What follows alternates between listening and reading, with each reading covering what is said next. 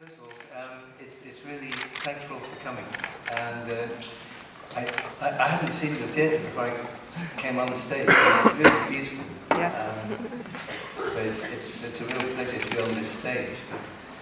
Um, the, um, I, I haven't made a documentary for, for some years, and um, an archive documentary was particularly attractive um, because you don't have to shoot any film. You can just, it just comes into the cutting room. Um, so you don't, the alarm doesn't go at six o'clock every morning to get out of bed. Um, you, you turn up at nine o'clock and still make the film. Um, so it was particularly attractive to senior filmmaking. Um, and it was a story I wanted to tell for a long time because after the, the war, um, there was a, a, a, very strong feeling that um, there needed to be a new way of running society. Um, the experience of the 1920s and the 1930s was one of great poverty for the working class people. Um, huge unemployment, um, alienation, um, soup kitchens, people with not enough food to eat, um, slums, terrible housing. Um, and people said, we don't want to go back to that. And then during the war, uh, the, a lot of um, the industries were taken into public ownership because the railways had been run by private companies and they'd been disastrous. So the, the, the government said, in order to win, to fight the war, we have to have an efficient railway system. So they took it into public ownership. For the coal mines, they said we need a supply of coal, so we must take it into public ownership. Um, obviously, the armed forces are, um, are centrally organised, they're not private armies. And so after the war, people said, well, we, we took things into public ownership to fight. Why can't we take things into public ownership to organise the peace? And to conquer unemployment, to conquer poverty, so that everyone can live equally and with some dignity. So they did. And we, we owned the water, the electricity, the gas, the railways, the coal mines, the steel industry, and finally the car industry. Um, and it was a high point of um, British politics. It wasn't, it had many faults. Um, it, it, wasn't, it wasn't controlled from the bottom. There was no industrial democracy. The railway workers weren't organising the railways along with the engineers and the, uh, the, the, the passengers. It was run by a state bureaucrat from the top, same as the coal mine, same as everything else. So it wasn't, it was, it was flawed, it wasn't perfect. But nevertheless, the idea that we, we could work together in, for everyone's interest, and of course we established the health service, a huge jewel in, in our political history, where everybody had medical care free, and everybody contributed to it according to their means. And we had a great program of popular housing, so that people had good houses, well built, and not done through a private contractor. So it was the idea of the public good and the power of working people to control their industries was a, a real high point. So we just wanted to tell this story. And the way you've made the film is you've used the archive and then you've chosen witnesses um, who are um, not really experts or, um, or historians, except to the degree that they may be financial consultants or they, um, um, how is it supposed to work? Because there's a generation of people that, that when, you, when, you, when we all say, well, Thatcherism did this and was the end of that and so on, those those people, and there's also an international audience who have similar bits of history. How, does, how will this uh, uh, documentary work in bringing back these, uh, these memories? Because I, I found it very powerful because I was aware all the time of my age and how close I am relatively to that generation. Well, uh, it's, it's a part of our history that is, is written out of, um, we, we don't talk about it now, because the consciousness now is about the individual, private companies, big corporations, an economy based on self-interest. Um, so the time when the economy was based on the collective interest has been written out of our history. Um, and as you say, we try to do it through the memories of ordinary people. So it, it's not um, academics talking, it's people who were there. There's, there's a, a miner who raised the flag of the nationalised industry above his pit as he was the youngest member. Um, there's a doctor who, um, for the first time, was able to treat a sick child when the mother had no money to pay for the doctor. And he said, today I can treat your child and you don't have to pay me. Um, there's a nurse who remembers the beginning of the health service and uh, she's there when, when it formally began. And her memory is that they, it, the day was so special, all the nurses got a cake. There's a memory. Um, let, us show a little bit of the film. So, okay. there will be people here that haven't seen it. I thought it would be very nice to show in Berlin um, something which is shocking in the way that now, in a way that maybe you know, the Pope being able to resign, something is shocking, which is some people being quite rude to Winston Churchill. Can, can I say something yes, about it? Yes. Yes. This, this is, um, it was my favourite bit of archive when we, when we uh, were looking through all the hours of archive. This was my favourite bit because Winston Churchill is seen since the since the 1940s has been sanctified. It's like he's a saint. But working people in Britain at that time had a different memory of Winston Churchill. Winston Churchill was an imperialist.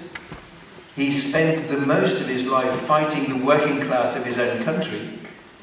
He sent troops in to, uh, to deal with the strike of miners. So there was a lot of bitterness about Winston Churchill. Um, and of course he had his moment of glory, you know, the six years of the war were his moment of glory. But um, uh, I'm glad you've chosen this clip because um, it is, um, it's another way of seeing a man who was effectively a politician on behalf of the ruling class of his country, as well as um, being a wartime leader. And those who, no doubt, this audience knows the, the, some of the landmarks of your, of your early career, particularly the, the housing policy uh, debate that was sparked off in the film itself of Cathy Come Home. Um, I want to show, I want to jump forward and show the clip of Kes because it's the beginning of your international film career. Um, and I want to ask you, um, uh, when you are uh, thinking, um, I mean in this case you're adapting a book, but there is an area in which right now, as your team of three people, in effect, with Paul Laverty and, and Rebecca O'Brien, um, you're saying, okay, where are we going next? What, what, what area are we going to head for? Um, uh, and then there's six months of research or something, um, which is sort of overlapping with the last film. Can you give a character to those kind of discussions? Right from the very beginning, working with you, working with Tony Garnett at that time, but there were different teams, of that discussion about, okay, what's the, what's the next film going to be? Where are we going to go now? Um, Yes. Um, well, um, the, the, the, biggest question, I think, in, in filmmaking, in, in our trade, is, is what film do you try and make? Um, what's the story? What, what is worth, what's the idea? What's the central idea? What is worth spending a year, two years of your life working on? Um, and is the central idea valid? Is it worth is, is it worth sharing the idea with the audience? Does it have any significance? Um, will it mean anything to people? Um, what, what's, what's the point? Um, and and that, that question, or those, those questions are, are the biggest questions that we have to deal with. All the technical questions of how do we realise the two should we cast, I mean, very important, but they come secondary. The biggest question is what is the film? And um, that, I, I've always worked, as you say, with um, a very good producer, and I've been lucky. I've had you know two or three really brilliant producers, and four or five wonderful writers that I've worked with. Um, and together we've shared, uh, we've shared a, a view, uh, shared a way of looking at the world, um, shared a, an analysis of how society works and the mechanisms within society. Um, and I think those are the questions that you have to hammer out. Even though the film you, you're doing is maybe a comedy, but nevertheless there are always implications in the characters you choose, the story you tell, the, the place that it has in the world, uh, the significance of it. They, they all relate back to a fundamental view of how the world is. And I, personally, I, I can't stress that too much. I can't imagine working on something with a writer where you don't, you don't share that view. Because it determines everything. It determines the whole essence of the project. Um, and so we, the, the, the, key writers I worked with were, were Barry Hines, who, who wrote the book of, of Kes. And Barry was essentially a novelist, um, but had a wonderful way of capturing character and dialogue um, on the page. And when you read a page of his dialogue, it just lived. Um, and he, he, he's from a part of England called uh, South Yorkshire, which is a mining area. And it has a very particular dialect. Um, the, the, the Old English, thee and thou, is still used. Um, was used even more when we, we made this film. And um, he, he, captures the rhythm of that. And that, that, to me, is the essence of the writer, is not to be able to break a, a, um, a script into scenes and directions. That's the director's job, or can be the director's job. The essence, the importance of the writer is, is, the, is, is capturing characters and dialogue on the page. That when you, when you start to realize it on film, it actually lives, it really lives. And it gives the people who play it, the actors who play it, it gives them life immediately. Um, and I think that's always underestimated. So the, the, the in, in this case, uh, Tony Garnett, who was the producer, had read Barry Hines's first book and thought it was very good. And uh, Tony and I met Barry, um, and he, his next book was A a Knave. And Tony said he'd, we should try and make a film, which was, I was very pleased about. Um, and we went and met Barry, and he, he took us through the whole story of the film around the place where he lived. He showed us the places. We went to his school where he was a teacher um, and uh, just got to know the location and the people. Um, and it's very close to the area I grew up in, so it was like, it was like going home for me. Um, and uh, it had a very, it had a very uh, strong sense of the place and the people. Um, and then from the book, it was very simply a question for, of editing into a, a narrative um, and, and reducing it to the essential narrative that you needed for the film and losing the sections that were literary or were um, in the characters' heads um, and, and just paring it down. And it's the easy job. It's the job that a sub-editor does on a newspaper every day. It's not, you know, we shouldn't overvalue that job. That's, that's, the creative part is putting it on the paper, on the page. The creative job is starting with a blank sheet of paper and a pen and ink and writing. Um, the easy job is say, I'll cut that bit out I'll go from that bit to that bit. That's easy. Um, so that, that's why I have huge respect for writers always and uh, feel that they are very undervalued in, in our business. Yes, you're in the cheap seats. um, well, um, it's a big question, really, uh, and everybody um, reaches the, a method of working um, by trial and error over the years. And, um, and as you say, it's for, for this. I mean, there are many kinds of films, but for this kind of film, it should seem spontaneous. It should seem as though it's just happened. You know, I mean, I, I, I think it's it's like a, when a, a great pianist plays uh, Chopin. You, it should be like he's just sat down at the piano and he's just played this extraordinary music. But of course, it is written down. Um, but when you when you when you hear the performance, it should be. It's just happened. It's just been created. Um, and that's the kind of feeling we, we try, I try to get in, in the films.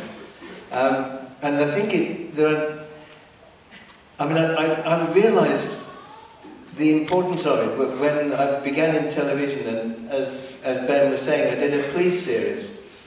And in the series, you had to, there was a format, and you cast it, and you rehearsed for two weeks, and then you did it like a stage play in an electronic studio.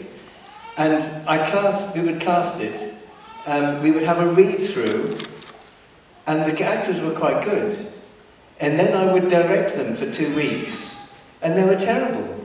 And they were wooden, and it was all rehearsed, and it had no spontaneity, um, and it was shocking. And, and uh, I realized how bad I was at doing it.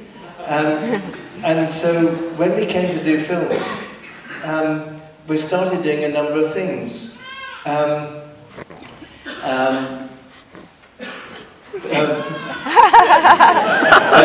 but, but first of all, um, we abolished the read-through uh, completely, so nobody reads it through.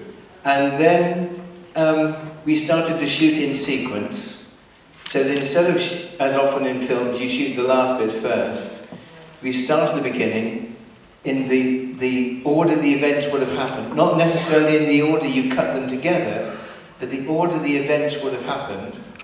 And started on the first day at the beginning and finish on the last day at the end. And the accountants complain about this and say, well, you have to keep going back to the same location. But I'd sooner have a simpler location and shoot in sequence than have a very expensive location and, and shoot the beginning, the, the, the end of the film at the beginning. Um, so it's a question of priorities.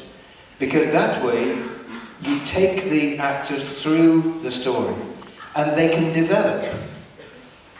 And what we film today is then a rehearsal for what we're going to film tomorrow. And you don't have to, to talk a lot about the state of mind you'll be in when you do a particular scene, because you've done the preparation which is the scene we've done yesterday. Or the scene we do today is a preparation for the scene we do tomorrow. So you don't have to intellectualize it. It's simply an emotional memory and it doesn't have to go through the brain. Because I think the best, the best um, uh, weapon you have, the, the, the, the, strongest element you have as a director is the actor's instinct. And the actor can be detached from his instinct, as I found out doing my bad rehearsals. The, the actor's instinct is the most, is the strongest element you have. And the instinct should, should just come without, without going through the brain and working it out, because then it's not instinctive. So, a person I rely on the, the actor's instinct. Absolutely. Um, another Nowadays, you give, you give pages the night before as well. Um, not exactly, it depends. But certainly not give the whole script out at the beginning. So that another key point is that you play each scene for the value of that scene at that moment. You don't play it thinking, I've got to get to, oh God, I, I, I can't respond full out here because I've got to save my tears till week five. um, you, you, you actually play each scene right for that time. So, as you say, um, we've, we've developed a, a, method of not giving the whole script at the beginning. So you, the, the, the important thing is that the, the performers have got to know everything about the past of the character, so you can't surprise them by something from their past. Because that's not helpful. But you, for something they have no control over in the future, then if it's a surprise, then you have to shoot the surprise. You have to shoot the shock. Because even the, the most talented actor will have trouble being shocked twice. Because the, the timing of that is so instinctive that to reproduce it is, is almost impossible. I mean, I've worked with fantastic actors, brilliant actors, and they all, that's the hardest thing, is surprise. So if there's a surprise, you've got to shoot the surprise, which means you can't show the whole scene, the whole script, before you start. Um, I mean, central to the whole process is um, something I haven't talked about, which is casting. And, and that is, that's a long process. And it means, I think there are various things you can't, very difficult to act. It's very difficult, difficult to act a different social class from your own. Because upper class people have things that they just get accustomed to, that they do without thinking, that is absolutely, it's not instinctive, it's not born in, but it's, it's, it's learned from a very early age. Um, just a way of dealing with people, it, it's, it's absolutely, they've been rehearsing this all their lives. Same for working class people, same for middle class people. It's very hard to transcend class. You can put on a different voice, but it's not, it's not true. So I, I think you have to cast within you have to respect the class of the, the social class. Also the place. I mean, you couldn't get, it's very difficult to, to reproduce an accent or a dialect. You can do it phonetically, so it sounds okay, but it's the choice of words, it's the humour, it's the rhythm of speech, it's the attitudes that are contained within language. That, and you can do it phonetically, but absorbing that, um, those whole attitudes is, is, I think, difficult, if not impossible. So I'd always choose people from the place, and always choose people from the social class. And then finding the people who, when they reveal themselves, and this is critical, I think, when they reveal themselves, they reveal something about the, car, the character. So you want them to be vulnerable, and that's very brave. And you discover that in, you know, when you're improvising with people before you cast them. Find actors who are vulnerable and open and put themselves in, you know, don't, don't have strong defences to defend themselves emotionally. So, so they're prepared to be open and then take them through it stage by stage. And sometimes Sometimes within the scenes you have to spring little surprises. So like in that scene, I would have just said to David, I mean David in the, in the film, in the story, plays the boy. He's, um, his, his, his brother is looking for him because he's, he's in trouble with his brother. So that's why he's anxious. He's got to hide. So he, I said, look, don't, because your, your brother's looking for you. You've got to escape. So the timing of his getting up and down was down to him, and it was different each time. So, so that meant that Bernard, who was playing the adult, responded differently each time. So each time it had a different rhythm. So he had to think it each time. Um, and I think that that means that you never settle into such a dead pattern. that You're simply repeating the same pattern over and over again. Sorry, I'm talking too much, but That's fine, it's fine. I, I don't remember much of the politics of 45 from the time because I was nine, so it didn't. Um, I remember the euphoria at the end of the war and people coming home, but I didn't remember the politics. The things that have inspired me, I'm sure, are what inspire everyone here. It's people who fight back. You know, it was, it's the working class of my own country that have, uh, that fought across centuries, across decades. It's the people who struggled for Irish independence, it's uh, the miners who fought a great strike. It's the women who have uh, led, led disputes. It, it's, it's, the, it's the working class on the move. That, that's what's inspirational. Whether it's in Spain in the Civil War, I say whether it's the Irish in the War of Independence, whether it's the partisans during the Second World War, whether it's the Nicaraguans, whether it's the in in the Sandinista revolution, and it's finding people. I mean, we went to Nicaragua and filmed there, and we met women and men who had Uh, who still believed in the ideals of the, the Sandinista movement, even when the Sandinista leadership had, had, had left them, and even when the revolution was lost or was being lost, and still fought and still talked about their risk, and, and still believed uh, when their children were being shot or killed or tortured.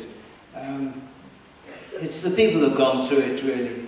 Um, and you find them in every society at every time, and uh, they're always there. So, and they're the ones who inspire. I mean, we went to Spain and made a film about the Spanish Civil War, and um, met a, a woman who was working in a market, and she'd fought um, with the uh, with the Marxist group, the POUM, in Spain, and she was she was working in the market, and uh, we talked to her, and um, she told us extraordinary stories of of um, of fighting the fascists. And uh, to begin with, she wouldn't talk, you know, and then finally she talked about fighting the fascists. And, and, and she still blazed with anger when she remembered how the women were ordered back from the front line. They had to do the cooking instead of doing the fighting, and she still was bitter about not being able to shoot fascists.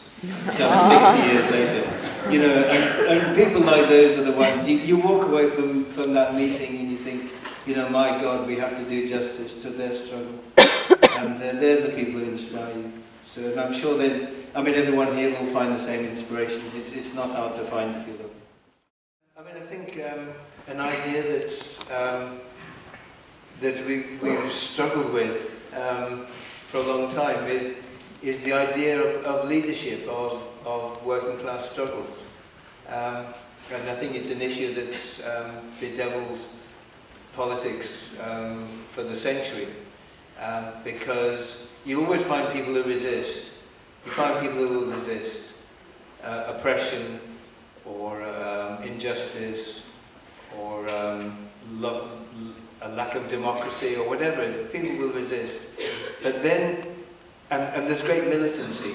The problem then is, is the leadership because the, the militancy and the strength can be led into a cul-de-sac or it can be it can have a political perspective which gives it some chance of victory.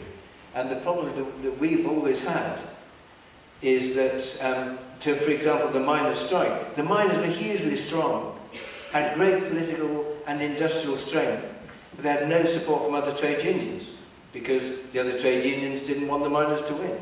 So it was, it was always a question of leadership. In the Spanish Civil War, the, the people had, had huge resistance to fascism but because they had, some were social democrat leaders, some were Soviet communist leaders who believed that um, the Soviet Union shouldn't be threatened by the, by the, uh, by too much trouble in, in Spain, and that, that uh, turmoil in Spain would threaten the, the, the, existence of the Soviet Union.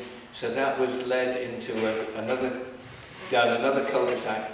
Um, so constantly it's a question of leadership, and that, that's the question that's always fascinated us, but, but is, is as contemporary as it can be, because it's the issue now.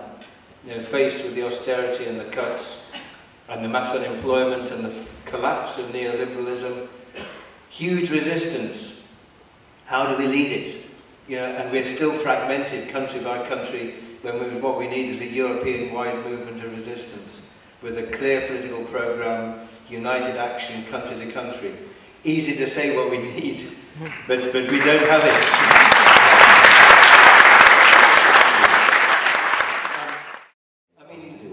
I mean, like you, I, I hate the mechanical um, images of the working class on the move with a fist in the air. You know, I, I hate that. It, it's inhuman. It has no.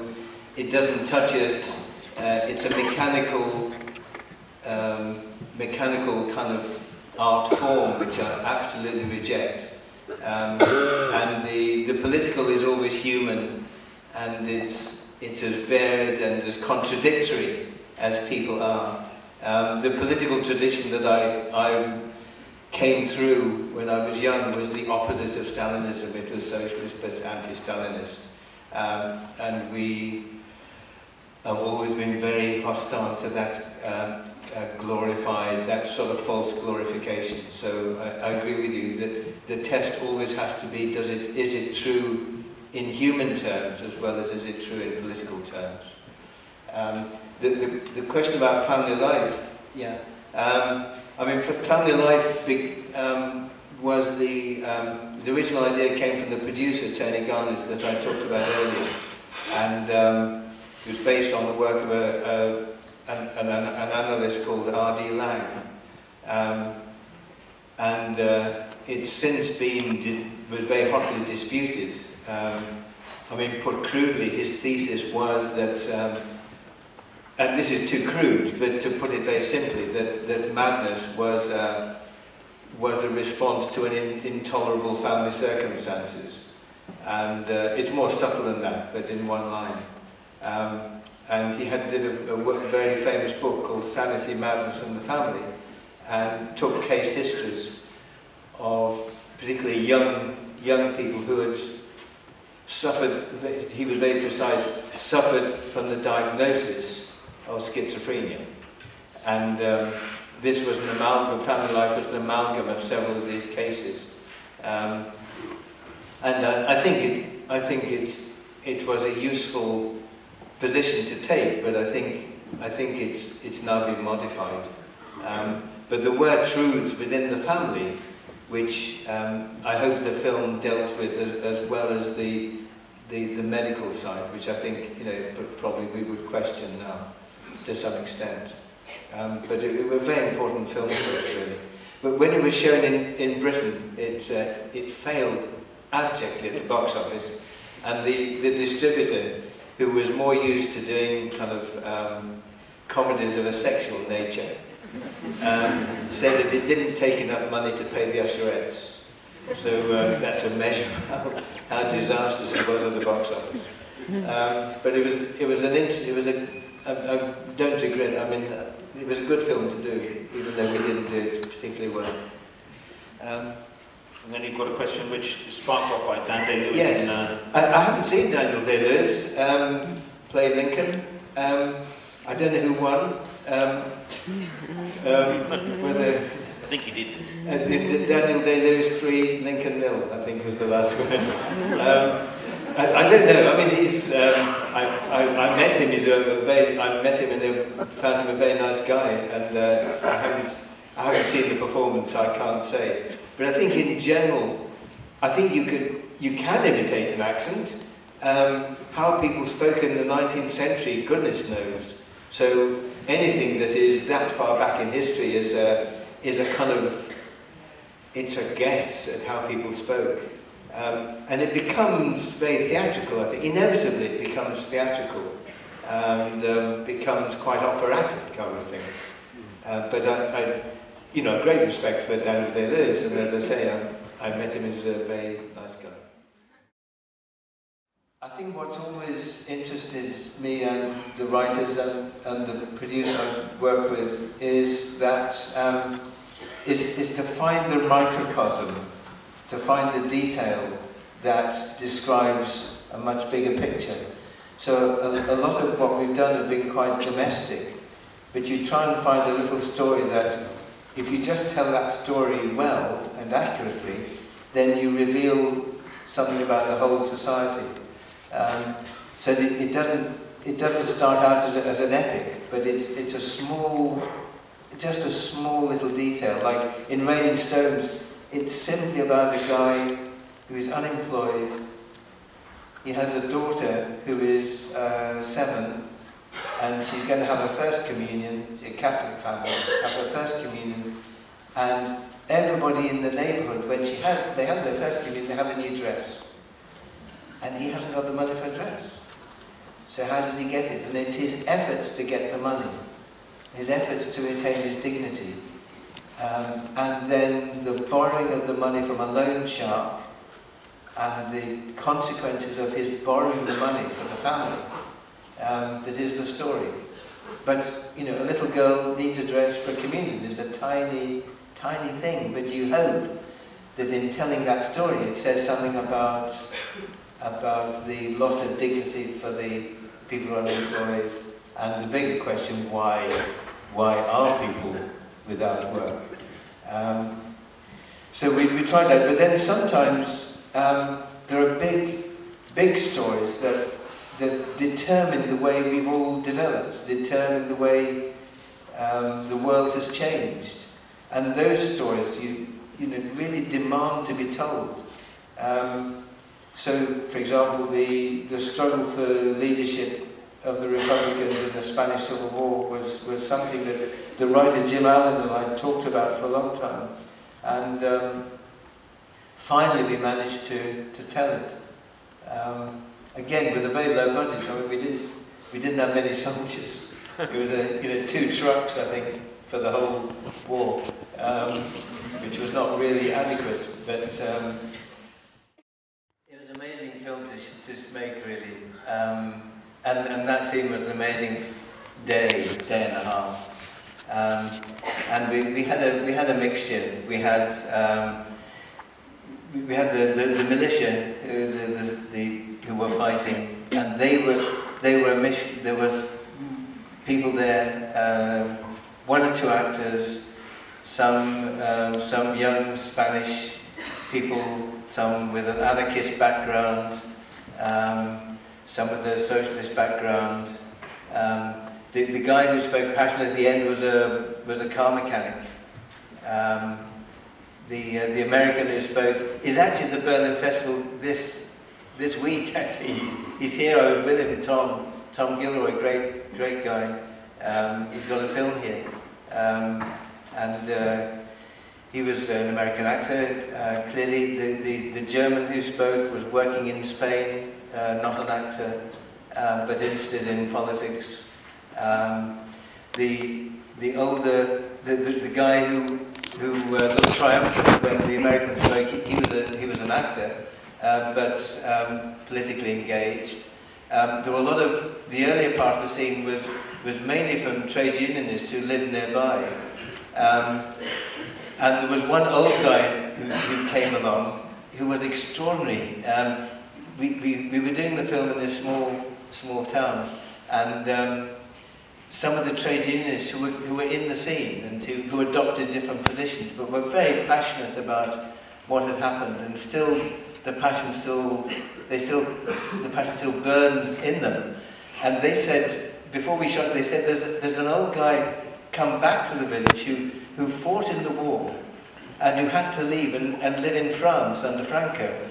But he's just started coming back to see some of his family that he, you know, descendants that he hasn't seen before. Can he be in the film?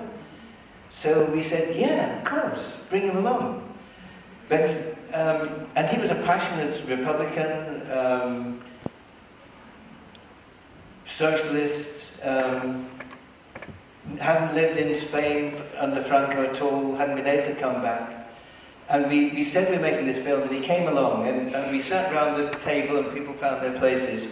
And um, the guy who was to, to chair it, to like to do your job, uh, was an actor but and but also socialist, and and he um, he was going to just keep it in order. I didn't direct it; he kept it in order. I, I said who was to speak, but he, he he handled it, and I directed it through him. And when we started to shoot, this guy Jordi Dardo, lovely man. Um, I said I just gave him a sign, and you know, start, and we were turning.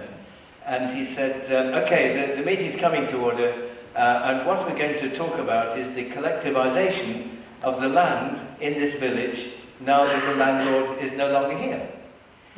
And this old guy was listening and he put his hand up and he said, uh, excuse me, he said, excuse me, before we go any further. He said, uh, who, elected you? I said, look, uh, I'm, I'm terribly sorry, but it is a film, you know, we're doing a film. I, have asked him to run the meeting. He said, no, no, no, no, we don't do things like that. He said, you, you have to be elected. So, um, we, one of the uh, one of the guys in the meeting uh, said, "Okay, said I, I propose that Geordie Dowlett is the chairman for this meeting." and uh, someone else, a woman, said that yes, I, I second that proposal. Um, all in favour, they all put their hands up, and the guy said, "Yes, okay." Said, and then, then, then, then later on, um, he put up his hand to speak, and. We didn't know what he was going to say at all. and he said, he said, I have to say something. He said, he said, the revolution is like a pregnant cow. if you don't give birth to the calf, when the calf is ready to be born, the cow will die. We need the revolution now. and uh, it, it, touched everybody. And um, I, I have to I, I was very, um, very moved in that scene. If, if there's simply going to be, if there's no scripted lines, probably not. Um, if they've got a lot to say, then however long it takes them to absorb it. Um, so it, it depends. If I mean, for, for some people, maybe half the script, because it's all about revealing the early part of the film, maybe all about revealing their past. So for that, yes, I give them a lot. If, if, they, if it, the script doesn't reveal anything, then maybe just two or three scenes. So the, the, the central criterion is, is the director's job to make the actor as good as they can possibly be. If, if, if the actor is not as good as they absolutely, the very best they can be, it's the director's fault. It's not the actor, never the actor's fault. Because the, the actors all, will always have ability. They will always have qualities. And it's the director's job to, to bring them out, to polish them, to present them, to make them absolutely the very best they can be. To film them in the most sympathetic light. To give them moves that, that come from the guts of the actor, not from some elaborate conceit of the director. You know, so like little directions like, you know, flick your ash at this point, I would never give because what's the point? The, the, the instinct must come from the actor always. Um, so it's, all, it's a pragmatic question when you give the script. You just have to work out when's the, when's the moment that they need to see this in order to do it well, but not, but not to be too um, to be too familiar with it, that it's become boring, or not boring, but, but uh, taken for granted. And sometimes when there's a scene, when somebody has to make a, like a long, say a lot of things, then it's important that the other people in the scene really listen. So I wouldn't give the long speech to the other people in the scene, because what you want is their attention. And you get their attention when, by really listening. And if they've been reading it for six weeks, you know, they're not going to pay attention so well. And, and the critical thing, suppose someone has to break down. You know, you want them to break down. You, you'd never say to an actor, look, I want you to cry at this point. Because they'll be terrified. You know, oh God, I'm, I'm not going to manage it. So you have to manipulate the scene in such a way that that's, that's what they will do, you know. So the, it's always directing like through other people. Um, I have the impression also that you create a very special working environment for actors because uh, the, the situation being an actor in a film can be extraordinarily kind of technical and harsh. And talking to um, personally work with Barry Ackroyd, but you know the, the whole the whole I remember Barry Ackroyd saying you know who is who is who is a, has been a crucial part of this team, saying to cinematographers, look, it's fine, we can talk about lenses a lot and stuff if you like, but the fact is you're, you're the one standing right next to the actress, which is naked having a breakdown, and if you're not useful in that space, because we're thinking about lenses, then we're certainly not a cinematographer. So that, so that, so that everything about making that performance, I have the impression in your space, uh, is all contained and organised for that. Yes, yes, absolutely. So it, it's quite a private thing, I think, filmmaking. Um, you know, unless it's a big public event, you know, but the scene you're filming, but it's quite a private thing. So, you know, we, we have no monitors ever. You know, nobody's standing around having a judgment about what's going on. It's really private. Um, maybe something the size of a postage stamp on the side of the camera for the for the focus puller, so that he can see where the camera's um, framing. but uh, nothing else. No, no, nobody sees it, and nobody in the, in the room watching. You know, everybody outside. Um, just the boom swinger, and maybe the the, the, the continuity, and the camera and the focus puller, and, and that's Oh, it. all right. And s- sometimes not even me, actually, I sit outside and listen. as, as the man said, the task is not only to interpret the world, but to change it really. So um, there's a good precedent for um, trying to change the change the world. Um, I, I think it's it's a bit like um, judges and the law. The judges interpret the law, but at the same time, by interpreting it, they try to modify it. Um, I mean, I don't think we can have such grand ambition. Um, we are. Um, you make a film, you're one small voice in a great cacophony of voices from the press, from the politicians, from the media, um, from the huge public discourse. You make a film, you're one small voice, and it, we shouldn't exaggerate the effect we can have. But it would, it's nice to leave people with a question, it's nice to leave people with a, a challenge, with uh some energy when they leave the cinema to pursue some ideas that they may already have. Um, I think that's the most we can aim for, really, is to, is to support those who we would want to support. Um, and uh, maybe to touch people that wouldn't be touched otherwise. Um, to tell them a story they wouldn't know otherwise. Um, and then when the cinema empties, then it's up to them, you know. Um, the, um, Then you're on to Eric. Eric Cantona, great man. Um, I was much in awe of Eric Cantona, and, uh, um, and it was a delight to work with him. And he, he's, he, he's a good actor. He acts um, as he plays football with great panache and uh, great style and great charisma. And um, um, he was a great guy. And uh, um, I there's a lot I could say about Eric, but he was a, he was a good actor, and he worked. He just became part of the team. You know, as they say in my country, there's no I in the word team. Um, You don't spell team with an I. There's no individual in the team, and uh, he was a good team player. Uh, Eric. Um, Uh, then, then, then keeping the faith in the fa- fact that there will be audiences and that the two people in the back of the stalls. Yes.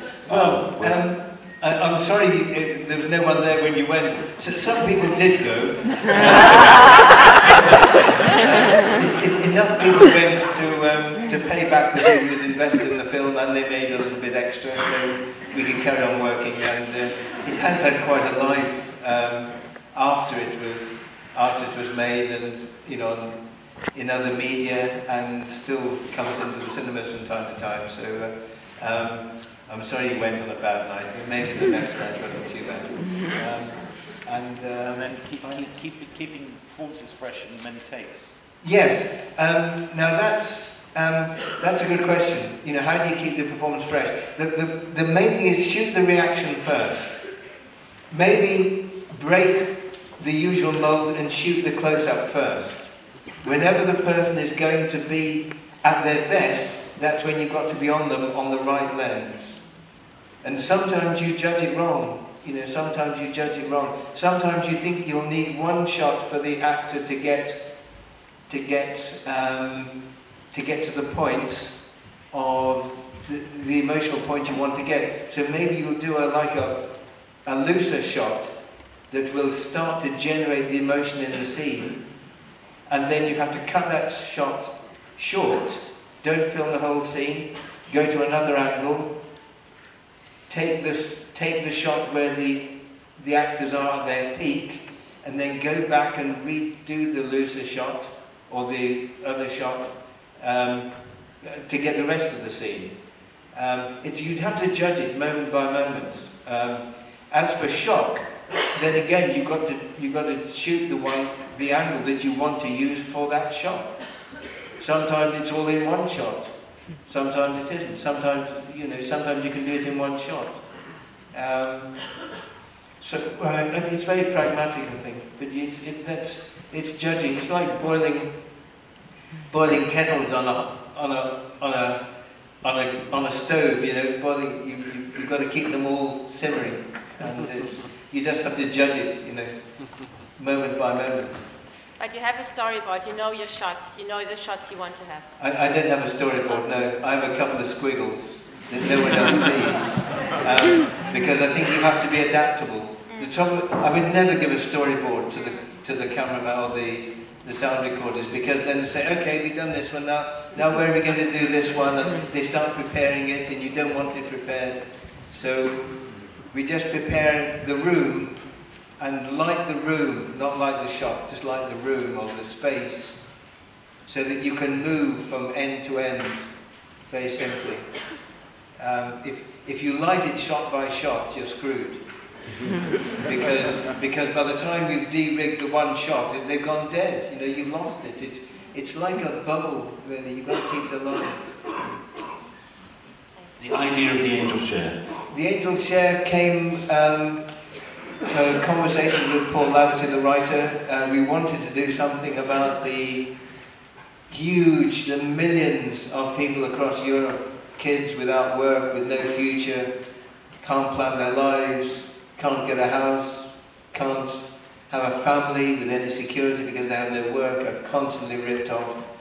Um, a great betrayal of a generation, really, two generations, that should make us very angry and make us really say, well, this is intolerable.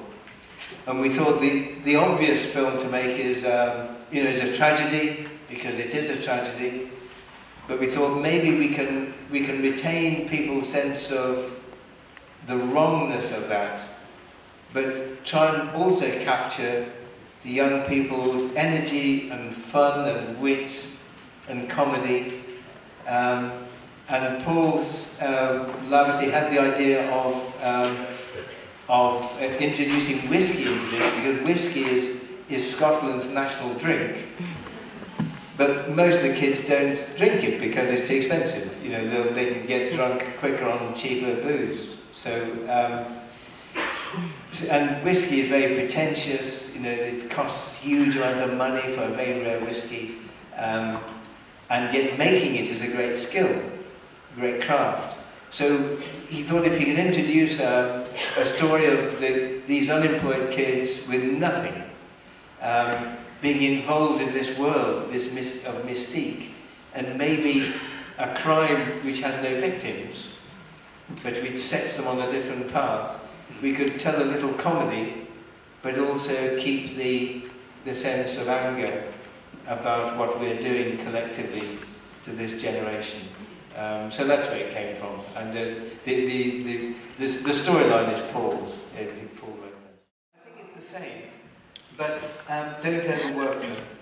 Um, only um, make the shots very simple.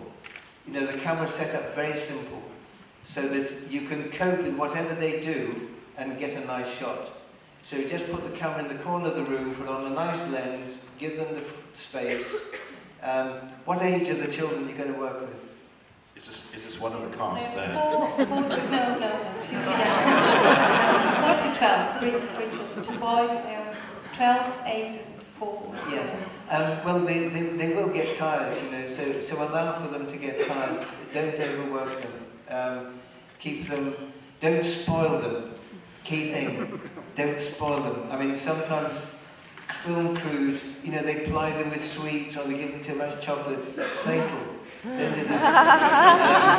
Um, and, um, and, and don't, don't be that intimate that you're, you know, there has to be a certain distance so that when they're working for you the, as the director, they're still on their best behavior.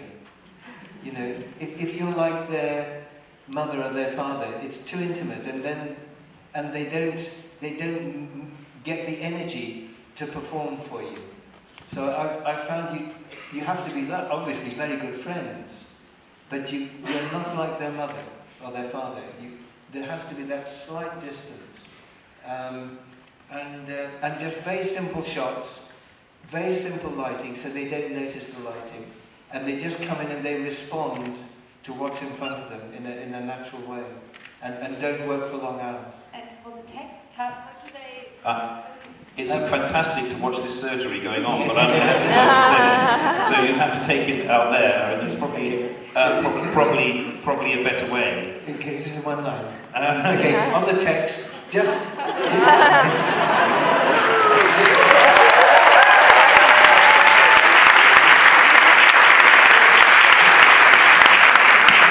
Give them the line or two before they do the shot. If if it's the 12 year old, he, he might be able to learn to have some lines beforehand. But the four year old or five year old, just give them the line before they do the shot. I would. But it's trial and error, you know, you'll soon see. Okay. Well, I, I- I just, I just, I just, uh, you know, I'm very, I, I- I'm, I'm very struck by something I just want to point at, which is that we've had, you know, an hour and three quarters of, of discussion or more, and, you know, rather than having a discussion about sort of abstract political engagement or the notion of engaged cinema, or all kinds of things which are, um, in, in a way, theoretical, we're really talking about uh, the people who are in this history that we're trying to reclaim, and uh, and performance and, and the reality of, of filmmaking from moment to moment. And I think that's an extraordinary way of properly understanding um, what, uh, what you've taught these people here through an entire career and now through a couple of hours of more talk. And so on their behalf, uh, I'd like to thank you very much indeed.